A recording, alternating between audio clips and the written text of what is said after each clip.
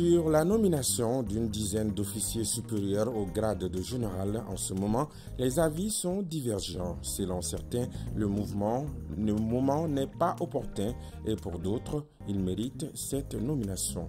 C'est les avis des Maliens, vous entendrez dans ce journal. Selon un rapport du Conseil scientifique de l'Agence malienne d'assurance qualité de l'enseignement supérieur et de la recherche scientifique sur plus d'une centaine d'universités privées au Mali, seules 42 sont habilitées à délivrer des diplômes et dans des domaines précis. Vous en saurez plus dans quelques instants. L'édition 2024 de la caravane troisième âge de la Fondation Orange Mali prévoit 2250 consultations et 150 chirurgies de la cataracte. Cette initiative de la Fondation Mali vise à atténuer la souffrance des personnes de troisième âge. Voilà pour le sommet.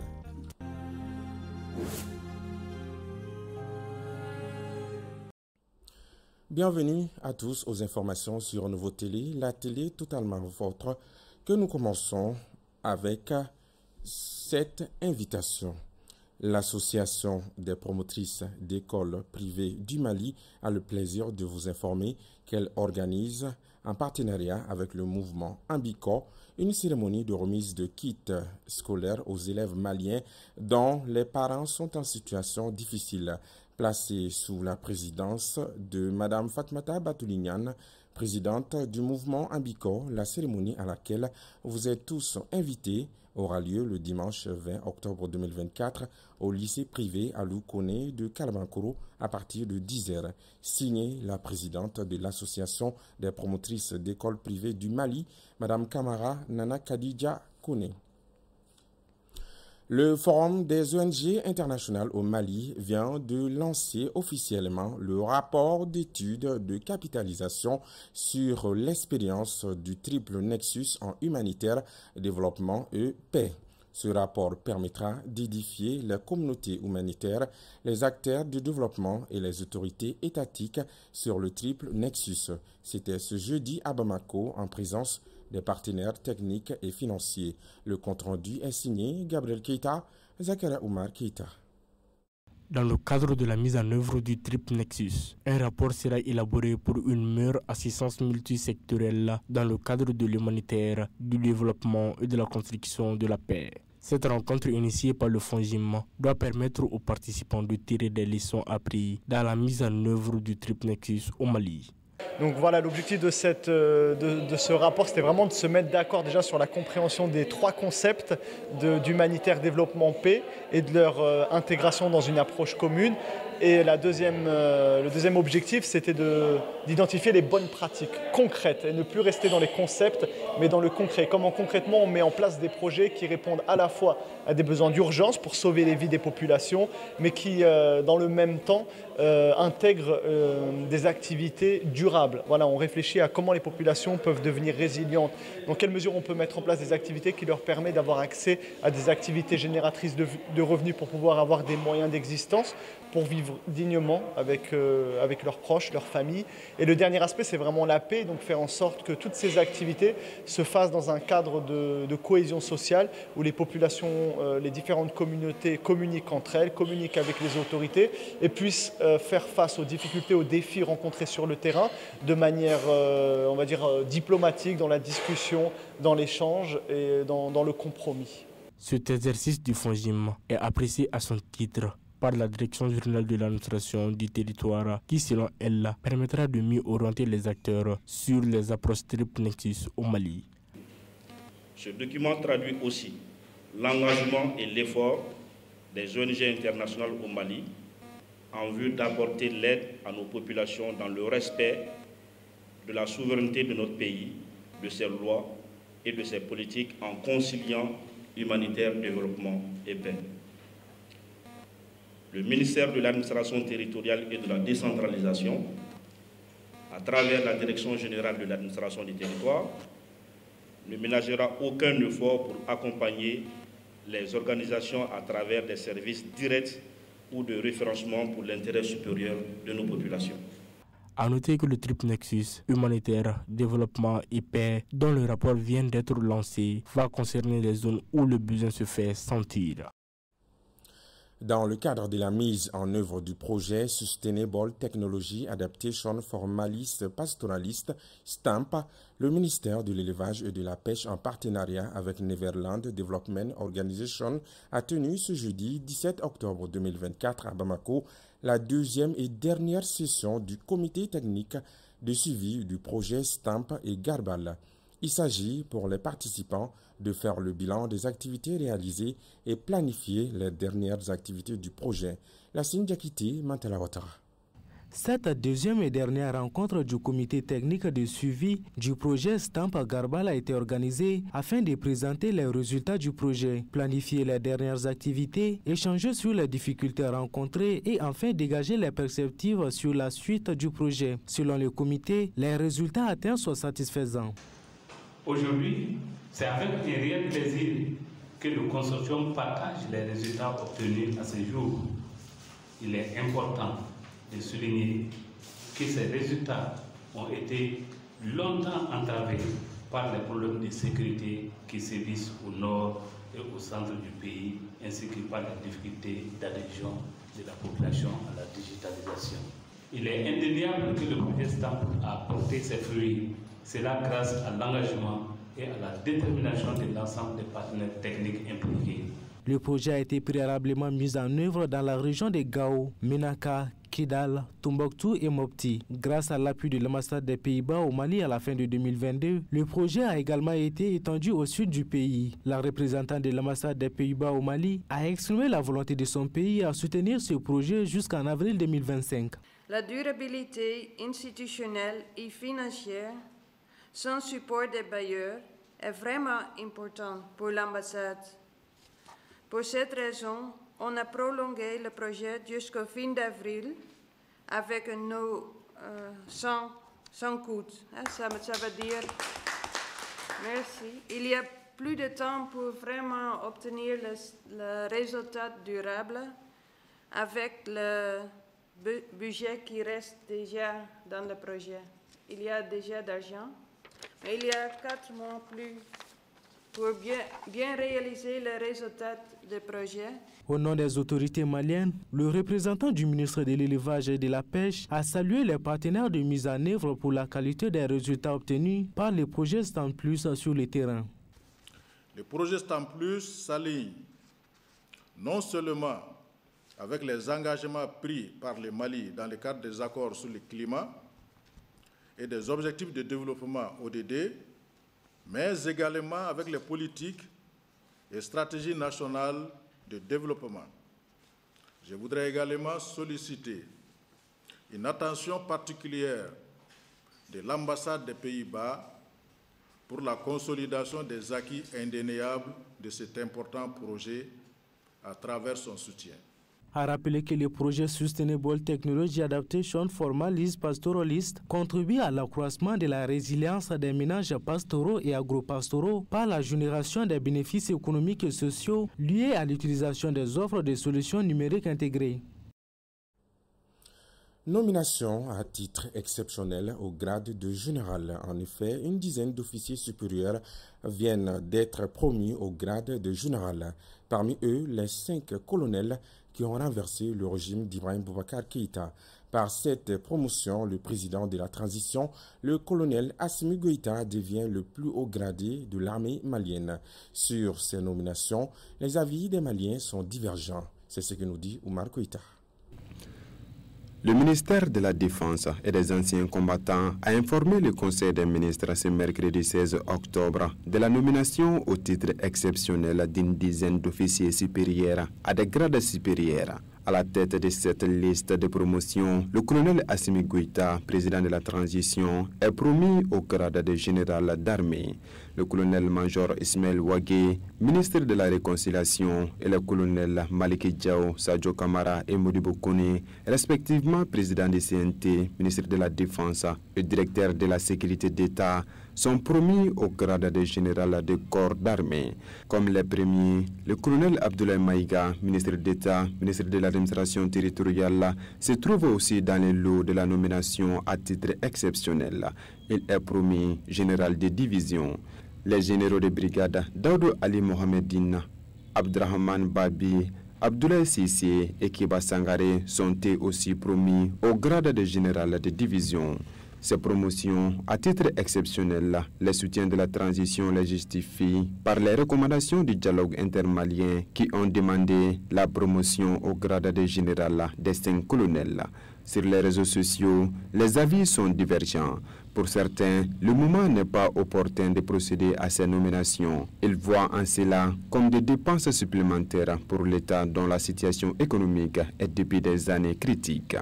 D'autres, par contre, trouvent que c'est amplement mérité pour ces officiers supérieurs qui, selon eux, ont restauré la dignité du Mali dans les concerts des nations. Nous poursuivons ce journal avec ce communiqué des EcoBank. Conformément à la réglementation bancaire en vigueur, EcoBank Mali invite ses clients à procéder à la mise à jour de leurs informations bancaires dans l'ensemble de ses agences ou en ligne via l'adresse email mise à jour des informations eml.ecobank.com au plus tard le 31 octobre 2024. Les documents nécessaires à cette mise à jour sont les suivants. La copie lisible de la pièce d'identité en cours de validité le justificatif du revenu ou tout autre document justifiant l'activité actuelle, le justificatif de domicile datant de moins de trois mois, facture d'eau, d'électricité ou de téléphone, un contrat de bail ou un certificat de résidence. Le formulaire de mise à jour 6 juin. Passé ce délai, vous ne pourrez plus effectuer des opérations sur votre compte et c'est en conformité avec la réglementation. Pour toute information complémentaire, contactez 24 heures sur 24 heures, 7 jours sur 7, le centre de contact régional de EcoBank Mali au 44 97 94 44 si vous êtes un particulier et le 44 97 94 45 si vous répondez au nom d'une entreprise. EcoBank Mali vous remercie pour votre confiance et votre compréhension. Alors qu'on dénombre plus d'une centaine d'universités privées au Mali, 42 seulement sont habilitées à délivrer des diplômes et dans des domaines précis. C'est ce qui ressort du récent rapport du Conseil scientifique de l'Agence malienne d'assurance qualité de l'enseignement supérieur et de la recherche scientifique. Les précisions avec Emma Fifame Nounaon.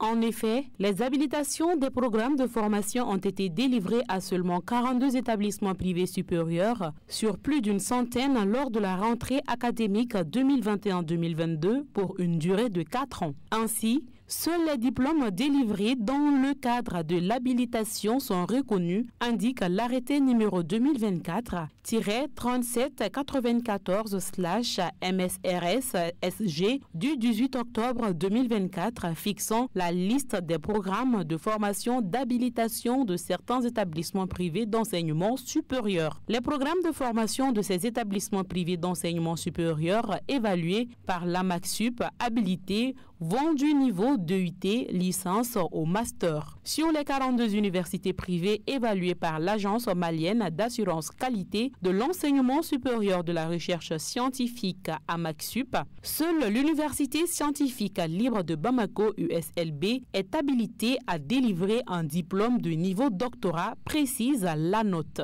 comme quoi la gestion des établissements d'enseignement privé reste un vrai serpent de mer au Mali. C'est parti depuis ce jeudi 17 octobre 2024 pour les activités de la traditionnelle caravane troisième âge de la Fondation Orange. Les activités se poursuivront jusqu'en janvier 2025 dans plusieurs localités du pays. Les détails avec nos reporters Assistant Diallo, Ibrahim Dao. Exactement 2250 consultations et 150 chirurgies de la cataracte sont prévues pour cette édition 2024 de la caravane troisième âge de la Fondation Orange Mali. Cette opération va coûter 38 millions de francs CFA.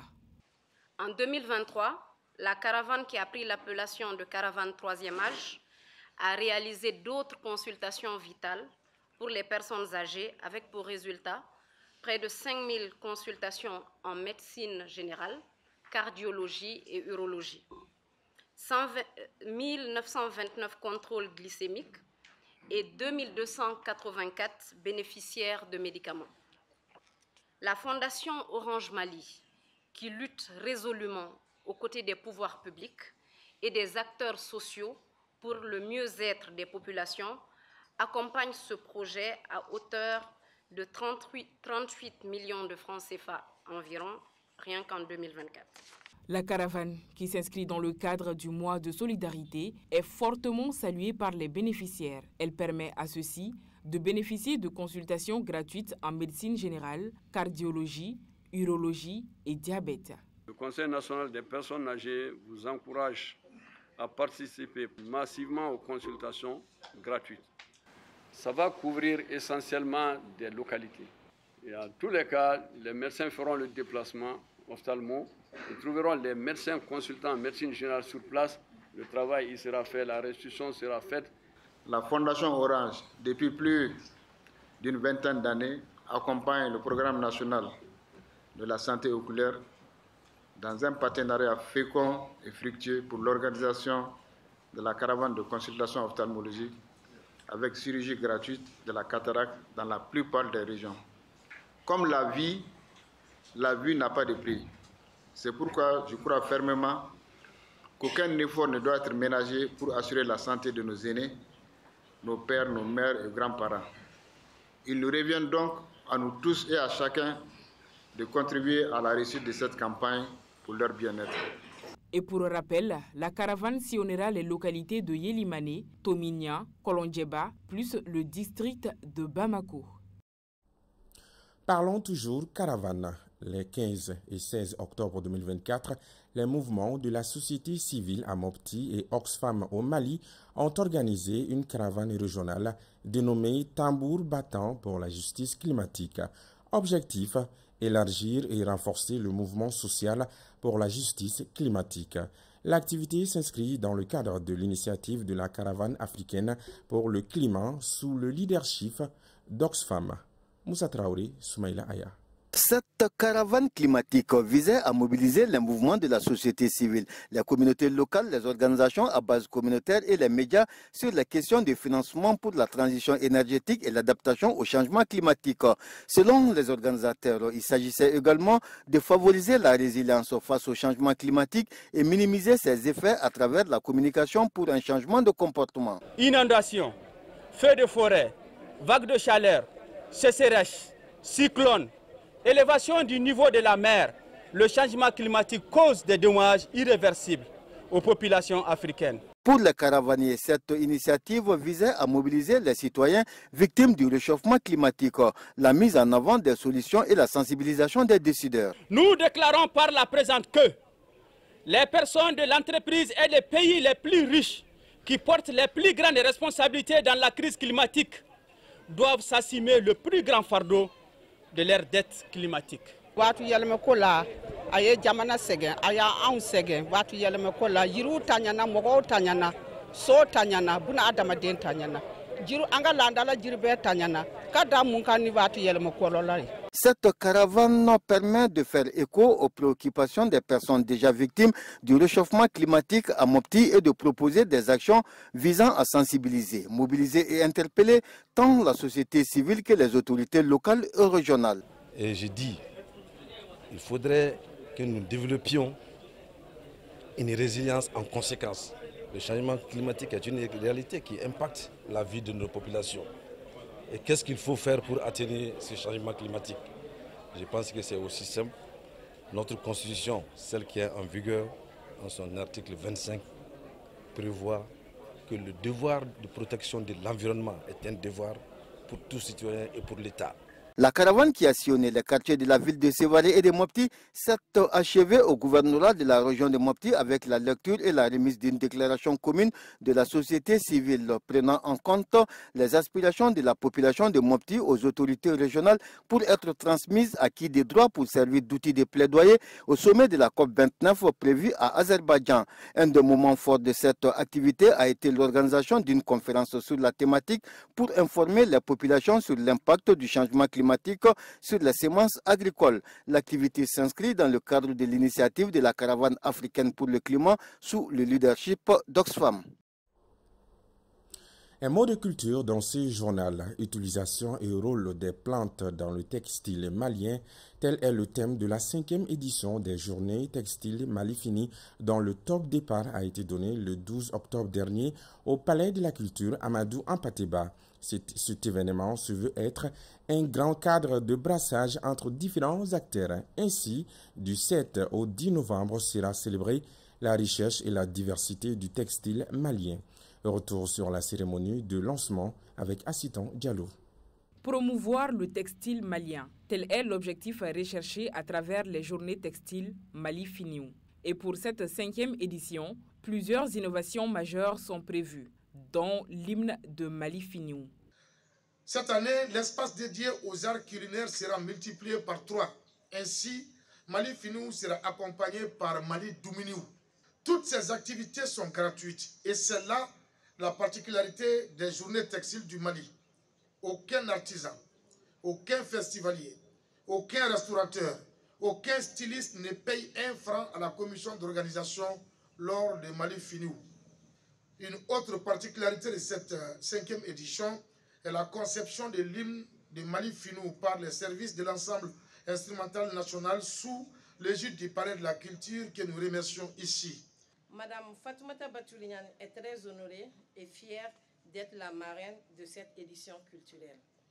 Elle encourage la jeunesse à la mise en valeur du textile malien et remercie l'initiateur et la commission d'organisation du lancement de cette cinquième édition Mali Finion. Foire textile, conférences, concerts, défilés sont entre autres activités prévues pour cette cinquième édition avec comme objectif la promotion du textile malien. Globalement, comme activité, il y aura la foire textile avec une soixantaine d'exposants venus d'un peu partout au Mali, la conférence inaugurale sur le thème central animé par le CDAT, une deuxième conférence sur la place des médias publics dans la promotion du textile de l'ORTM est animée par l'ORTM, une troisième conférence sur les textiles soniqués proposée et animée par la communauté invitée d'honneur.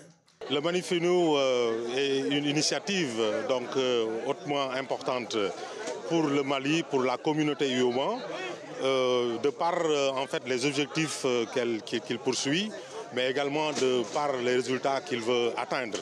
C'est quoi? C'est en fait le consommé local, c'est la production du textile malien, et qui dit donc consommer local euh, dans ce mois d'octobre, euh, Malifinou cadre parfaitement avec les objectifs de la communauté UOMOA qui également en ce mois d'octobre célèbre euh, la cinquième édition du consommer local UOMOA. Pour l'édition 2024, la communauté invitée d'honneur est les Soniqués à travers l'association culturelle Soniqué. Ainsi prend fin ce journal. Merci à vous de l'avoir suivi avec attention. Bonsoir.